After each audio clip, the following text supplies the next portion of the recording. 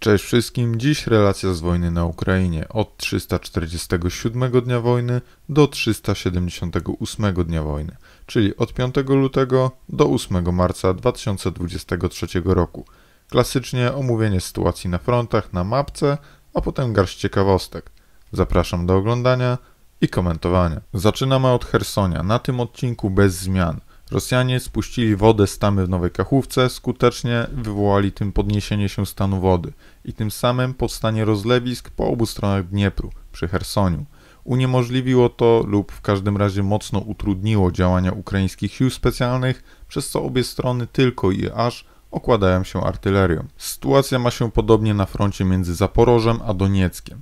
Drobne potyczki i wymiana artyleryjska. I ponownie jedynym wyjątkiem od tej reguły jest Wuchledar, który przez miniony okres Rosjanie kilkukrotnie atakowali. Jednak po porażce, którą odnieśli na przełomie stycznia i lutego, ataki te były jak ostatnie podrygi umierającego. Sytuacji nie zmieniły, ale były. I ostatecznie 5 marca działania przy Wuchledarze zostały praktycznie wygaszone. Zostało okładanie się artylerią. Przy samym Doniecku Rosjanie przypuścili dwa większe ataki na miejscowości Marinkę oraz Awdijewkę. Marinka, o którą toczą się walki już bardzo długo, wręcz od 2015 roku, jest praktycznie zrównana z ziemią. Dotychczas miasto było powiedzmy w połowie zajęte przez obie strony, jednak Rosjanom udało się zdobyć centrum, a armia ukraińska wciąż broni się w zachodniej części miasta. Z kolei Awdijewka sama w sobie atakowana nie jest. Rosjanie, podobnie jak w Bachmucie, próbują ją wziąć w kleszcze z północy i z południa, jednak ich natarcia są zatrzymywane przez Ukraińców. Może to przywoływać pierwszowojenne skojarzenia, gdy zdobycie 100 metrów terenu było sukcesem. W tym regionie tylko takie sukcesy mają Rosjanie. Ciekawostką z Awdijewki jest to, że żołnierze rosyjscy zmobilizowani z terenów Rosji trafili nie tak jak im mówiono, do obrony terytorialnej, a do armii, tzw. Tak Donieckiej Republiki. Nagrali w związku z tym apel do Putina i Szojgu, aby ich przenieść. Jak się pewnie domyślacie, efekt był odwrotny. Zostali wysłani jako tak zwane rozpoznanie bojem na ukraińskie linie obronne. Z całego pułku niewiele zostało. W ten sposób przechodzimy do Bachmutu, miejsca, w którym dzieje się najwięcej. W ostatnim raporcie Ukraińcy kontrolowali trzy drogi do Bachmutu, przy czym jedną umownie nazwałem awaryjną. Pozostałe dwie były na skraju kontrolowania przez Rosjan. Od tamtej pory sytuacja uległa znacznemu pogorszeniu. Na południe od Bachmutu jedna z dróg została przez Rosjan odcięta. Choć fizycznie jej nie zajęli, to jest ona w zasięgu ognia bezpośredniego, co sprawia, że jest ona zwyczajnie nieprzejezdna. Na północy Rosjanie fizycznie odcięli Bachmut, zajmując tereny i biorąc miasto w kleszcze. Ukraińcy na początku marca bardzo małymi siłami przeprowadzili kontratak, co wywołało znaczną euforię. Media informowały, że już niedługo Ukraińcy odetną pewną część sił rosyjskich. Prawda okazała się jednak zgoła inna, niestety bardziej rozczarowująca. Rosjanie rzucili odwody znacznie przewyższające atakujących Ukraińców, którzy musieli się wycofać. Odwody poszły jednak za ciosem, zdobywając kolejne tereny na północ od Bachmutu. W samym Bachmucie sytuacja również nie była kolorowa.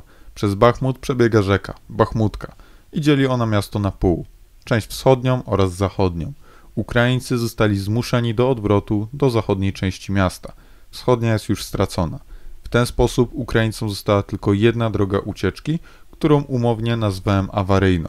Aby sytuacja była jeszcze trudniejsza, droga ta przechodzi przez miejscowość Chromowe, w której był most przez nieduży ciek wodny. Był on jednak zaminowany przez Ukraińców tak, aby w razie czego można było go wysadzić. W most ten trafił jednak rosyjski pocisk, co w połączeniu z materiałami wybuchowymi założonymi przez Ukraińców spowodowało jego zniszczenie.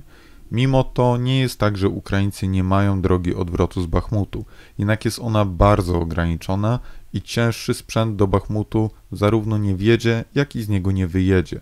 Całego tragizmu do sytuacji dodaje wszechobecne błoto, które dodatkowo utrudnia ruchy wojsk. Sam Bachmut nadaje się do opuszczenia przez siły ukraińskie i to prędzej czy później nastąpi. Osobiście daje mu nie więcej niż tydzień, ale zobaczymy co przyniesie czas. Ostatni z odcinków frontu między Kremienną a Swatowem zupełnie bez zmian. Rosjanie kilkakrotnie atakowali, jednak bez żadnych efektów. Jedynym wyjątkiem jest tu atak na północy, w kierunku na Kupiańsk, gdzie Rosjanie wyparli Ukraińców z wioski o nazwie Chryaniwka. Ogólny obraz jest taki, że zarówno Ukraińcy, jak i Rosjanie stoją w miejscu, a dzieje się to przez pogodę i właśnie wszędobylskie błoto, które skutecznie tamuje ruchy obu armii. Tak naprawdę więc najwięcej dzieje się przy Bachmucie. Z ciekawostek w minionym czasie było głośno o ataku na białoruskie lotnisko, w wyniku którego miał zostać uszkodzony samolot wczesnego ostrzegania A-50, odpowiednik natowskiego AWACS-a. Jest to spory samolot z radarem, który latając przykład nad Białorusią pozwala monitorować ruch lotniczy choćby w Ukrainie czy w Polsce. Na temat tego ataku było wiele spekulacji. Finalnie wiadomym jest, że został on przeprowadzony i wiadomo jest też co zostało uszkodzone. Sam atak był skoordynowany. Początkowo nieznany pilot drona wykonał lot, można powiedzieć rozpoznawczy nad lotniskiem. Następnie dron z podczepionym nieznanym ładunkiem po sposobie ataku obstawiam pocisk od granatnika automatycznego lub małokalibrowy pocisk moździerzowy, przeleciał nad samolotem, rozpoznał teren i uderzeniem zdetonował jeden ładunek nad satkomem, czyli elementem odpowiedzialnym za komunikację satelitarną samolotu. Następnie ludzie odpowiedzialni za atak wysłali kolejnego drona nad sam talerz, czyli radar, który również uszkodzili. Same uszkodzenia nie są poważne, ale na pewien czas wyłączają ten koszmarnie wręcz drogi samolot z działań. Kolejną z ciekawostek jest to, że Rosjanie już teraz przygotowują umocnienia na plażach w Krymie, a hitem ostatnich dni są rosyjskie pojazdy bojowe. Chodzi konkretnie o transportery MTLB, na które rosyjscy mistrzowie improwizacji zamontowali wieżyczkę morską pamiętającą II wojnę światową. Takie wieżyczki można zobaczyć również w Polsce, w muzeach, choćby na Helu czy w Gdyni. Aby było ciekawiej, nie są to pojedyncze egzemplarze, a całe serie modyfikacji wykorzystujących głównie stare elementy monitorów rzecznych. Ale o czym my mówimy, skoro cała armia rosyjska to jedna wielka improwizacja? Tym żołnierze, którzy w niej walczą, ponieważ pojawiły się nagrania ochotników choćby z Mali i Palestyny walczących po stronie Rosjan w tej wojnie. Ostatnią ciekawostką jest to, że w Wilnie stanął zniszczony rosyjski czołg. Takowe wystawiane są choćby w Kijowie, mają też swoje trasy po Europie. Stały m.in. w Warszawie czy na kieleckich targach MSPO. Pewnie zapytacie, co jest nadzwyczajnego w tym, że w Wilnie stanął zniszczony rosyjski czołg? Nic, tylko że mniejszość rosyjska zaczęła stawiać pod wrakiem kwiaty i znicze. Na ten fakt szybko zareagował Urząd Miasta Wilna i postawił obok czołgu kubę na śmieci z kartką z napisem, cytuję, na kwiaty, znicze i sowiecką nostalgię. To tyle z mojej strony. Dziękuję za obejrzenie tego materiału. Mam nadzieję, że się podobał. Nowych widzów zachęcam do subskrypcji, a stałych widzów do zostawienia łapki w górze i komentarza.